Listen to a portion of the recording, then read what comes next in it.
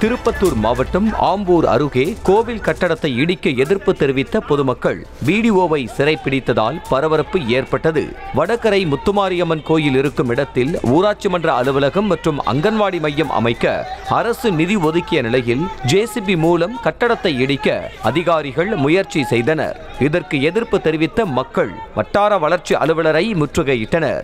அங்கு வந்த போலீசார் பேச்சுவார்த்தை நடத்திய போது சாமியாடிய கோயில் பூசாரி கோயிலை அப்புறப்படுத்த வேண்டாம் என கூறினார். இதனை அடுத்து போலீசார் பேச்சுவார்த்தை நடத்தி கோயிலை இடிக்கும் பணியை தற்காலிகமாக நிறுத்தி வைத்தனர்.